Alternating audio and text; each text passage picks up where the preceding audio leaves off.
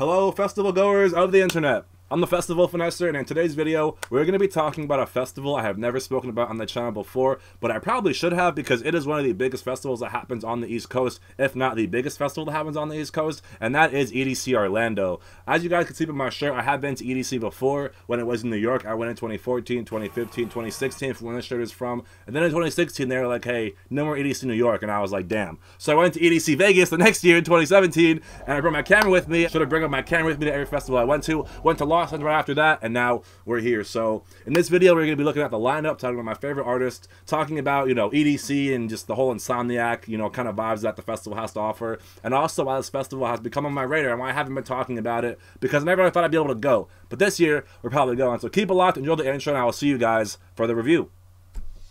Can I get a year?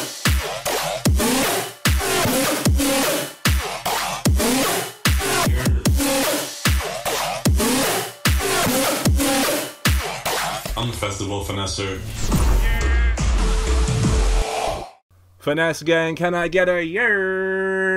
What's good, everybody? Welcome back to another video. Thank you guys for tuning in. And for those of you who are new here and do not know me, I'm the Festival Finesser. This is my channel, a channel that revolves around music festivals and live music going experiences with a focus and concentration on dubstep and riddim. If you're not following me at a festival day by day, you're probably following me at a show in New York, Philadelphia, Maryland, Virginia, Delaware, basically anywhere I go, you guys are coming with me. And if you're not following me at a festival or a show, probably sitting with me here at this desk getting life hacks, trick tips, festival reviews, lineup reviews, EDM news, controversial debates, and any other words of advice I can give to you guys to make sure you can have the best festival going experience possible. So, today we are talking about one of the best festival organizations in the industry right now, and that is Insomniac doing EDC, the festival that pretty much changed my life and got me into EDM. I went to EDC New York as soon as I was able to go when I turned 18 and I was learning about the rave scene and EDM and fucking Tiesto and Hardwell and Afrojack and all those dudes.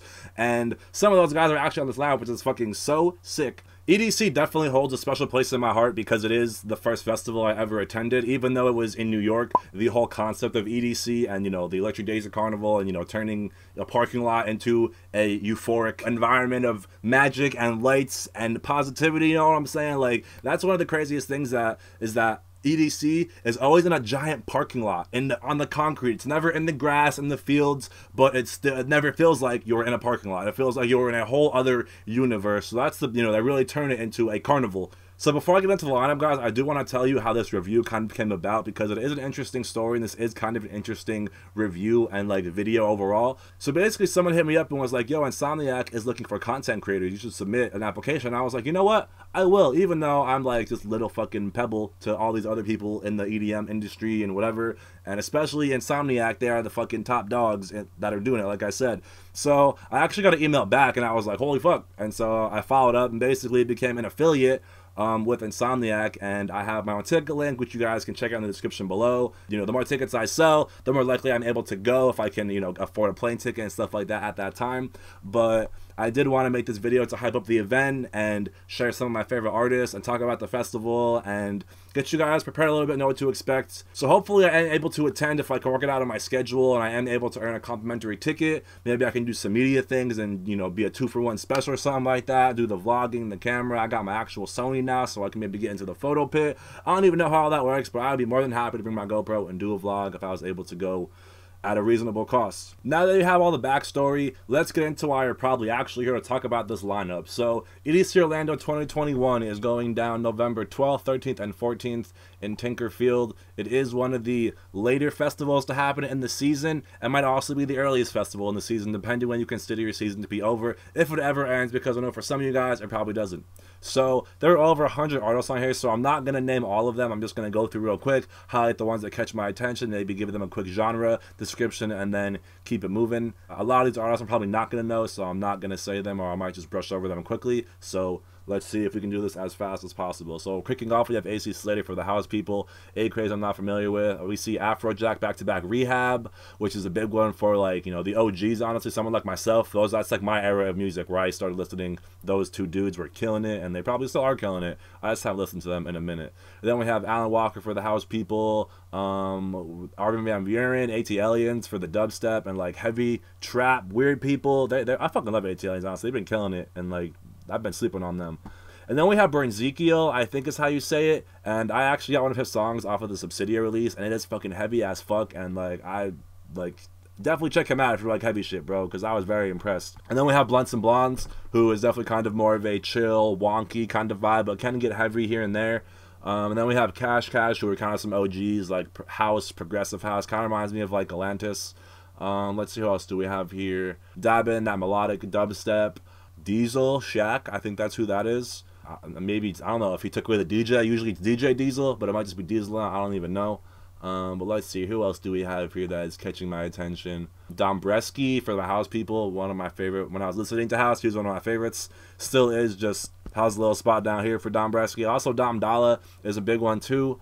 Easy Baked, that Wakanda kind of vibe, that weird, uh, just experimental kind of bass. Ekali kind of has a little bit of everything. He kind of reminds me of kind of more like melodic, kind of like euphoric stuff, but I also have seen him throw down some heavy stuff as well maybe kind of like an Illenium vibe. Elefante is a really good house producer. Um, Excision, that's a fucking big one, probably one of the headliners, I would assume. I don't even know. They have no headliner, which is so fucking cool. That's one of the. The headliner EDC is you. You're the headliner. They, they it's like it's all possible because of you. And uh, we're the most important people, the audience. I always say without an audience, there is no show. And so therefore, you guys are the headliners. We're the headliners. Let's see who else catches my attention here. G Jones, you don't get a lot of him, honestly, so that's just going to be real weird and trippy and very different if you've never seen him. And then we have Galantis, very euphoric, upbeat, good energy, positivity. I don't even know what you would call them if they're like house, progressive house, fucking electro house. Um, I'm not really sure, honestly, but there are some OGs for sure. And then we have Green Velvet presents La La Land, which I have no idea what that is, but Green Velvet is an OG house producer, so it's probably going to be some fucking cool ass house. I don't even know, honestly. Let's see. Let's see. Jauz, OG for me. A lot of house. Nowadays, we used to be a big dubstep dude. Joyride, also very bouncy bass house kind of stuff. Kaskade, everyone kind of knows Kaskade, that just positivity, kind of like progressive, uplifting, just feel good kind of music. Then we have Kayzo, who is a very unique producer and DJ. He incorporates a lot of music into his sets. It's usually very bouncy and kind of heavy, has a little bit of like hardstyle influence, also a lot of like metal, rock and roll influence. Very sick. One of my favorites, always a fucking good time and a good show. Let's see, we have KSHMR, which was one of those like OG house producers from back in my day. Um, we have a Kygo Sunset set, um, which is going to be very relaxing and kind of more melodic vibes, I would imagine. Um, then we have the fucking girl Layz, bro. Again, I forgot, bro. She has been fucking killing it. Fucking EDC Orlando, bro. I'm probably gonna see you out there, Layz. I would hope. Always bringing the heavy shit. And then right next to Layz, we have Liquid Stranger, and that's just like so crazy to see Lays like someone that I know who came up to me and was like, "Yo, you're the festival finesser." She came up to me and I was like, "What the fuck?" And now she's got her name next to Liquid Stranger on fucking EDC Orlando. Like, what the fuck? Go you, Lay. Um, so Liquid Stranger, obviously, fucking OG legend, fucking pioneer, owner of Wakaan, heavy, weird. That's all I gotta know. Bass. Let's see who else we have. The Louis the Child or Louis the Child. Can someone tell me which one it is? Because I don't know. As you can tell, I'm not too familiar with the music. I've seen him around at festivals and stuff like that. I know he's very popular. I know he's kind of got uh, more of like a chill, uplifting, kind of like melodic vibe. Very just kind of vibey and uh, you know, kind of spiritual almost in a sense. I feel like. And then we have an LP Giobbi set. He's been buzzing a lot too for the house people. Um, that's also a sunset set. And then we have Luzcid. You know, she has that kind of like weird alien brand, so her music is kind of spacey, and that's kind of what I imagine. She, she I've seen her a couple times. She does throw down, but um, I don't remember too vividly to kind of you know put a label on it. You know. And then we have Markus Schulz House. He's been around for a minute.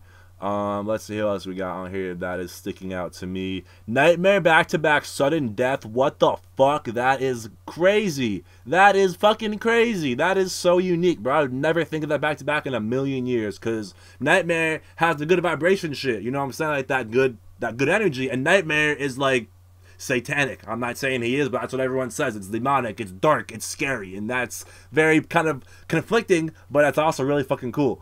Um that's probably the highlight for me that I've seen so far. Besides Layz, honestly, that's fucking so cool. I can't get over that. Let's keep going here. Noizu, fucking killing it. He is very popular in the house scene. Plasma has been buzzing. He has a really cool song with Freaky. It's called Murder. And part two is my fucking favorite. That second drop goes so hard.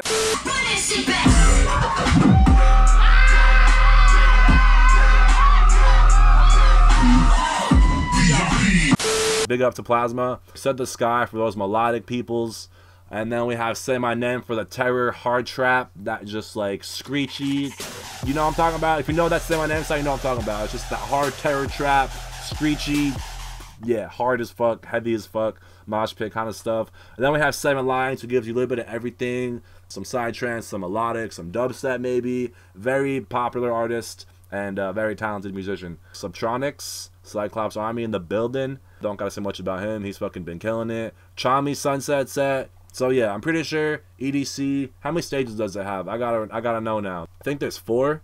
We have Kinetic Field, Circuit Grounds, Neon Garden, Stereo Bloom, and the art cart. So there are one, two, three, four main stages and the art cart. I'm pretty sure EDC Vegas has like seven or eight. Like that shit is huge.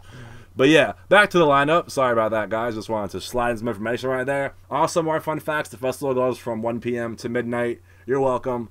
Back to the lineup review now. Tiesto, another OG pioneer, one of the people that kind of was, you know, killing it and, you know, headlining when I was playing and probably will still be headlining. I don't even know, honestly, man, because, like, I don't even know. Yeah, he's just such a legend. Um, and then we have Timmy Trumpet, who is again from my era of when I got into EDM. He fucking plays the trumpet live, kind of like how uh, Grizz does, or like Josh T does the violin. Like he kind of incorporates a like electrical trumpet, I guess, or like uh, uh, an amplified trumpet into his sets and plays over his like you know he has a lot of like trumpet themed songs and stuff like that. You guys will see if you see him or know his music. It's very clear and apparent. Um, so we're getting to the bottom here, guys. Um, um, um, um, um, and there's not too many people I'm seeing. Wenzday back to back Nostalgix, and then we have Whipped Cream who plays a little bit of everything, and um, Zedd. Everyone kind of knows Zedd. So those are the artists that stick out to me. And now I'm gonna just do a quick glance and just go through it real quick and highlight my ultimate favorites that I would want to see. And if you like bass, you should probably think about checking out as well. All right, here we go. ATLiens, Burn Ezekiel, Blunts and Blondes. Fuck it, I'm putting DJ Diesel in that mix. Excision, obviously. G Jones. I put Jauz on my list. I fuck with Jauz, even though he's more house. Joyride as well. I really fuck with the Joyride house sound. Kayzo for sure. Layz, of course. Liquid Stranger. Luzcid, I'll throw in the mix. Plasma. Say my name. Seven Lions, I'll throw in the mix just because like you, you never know what you're gonna get with him. I'm throwing Chami in there too because I fucking love Chami. And um, Nightmare Back to Back Sudden Death is definitely the best act on this lineup in my opinion. Like the most unique, like the craziest back to back. That's gonna be the set to not miss in my opinion. That is really it. So when you really break it down like that, there's not too much dubstep. But again, this is one of those festivals that kind of has a little bit more to offer. And Insomniac always goes above and beyond. They got performers, they got power, they got fireworks, they got the whole nine and more. So you know that's why I'm down to go because it's gonna be fucking lit no matter who is playing. They always, the EDC is one of those festivals doesn't matter who's playing. It's gonna be fucking amazing no matter what. So I'm definitely trying to go. Again, if you guys need tickets, you can click the link in my bio, and if you get a ticket through me, you will maybe save some money. I don't even know if it's a discounted ticket, but you are gonna help me and my chances of going and doing the vlog for myself and to experience and others to experience through the music. So thank you guys so much for watching this video. I hope it wasn't too long. If it was, I'm sorry, but that's what happens when there's live with 100 plus artists. So thank you guys again. I hope to see you guys at EDC if I'm able to make it myself. I know it's a while away, but you can never get prepared too early. So I'll see you guys for the next one. I love y'all. Peace.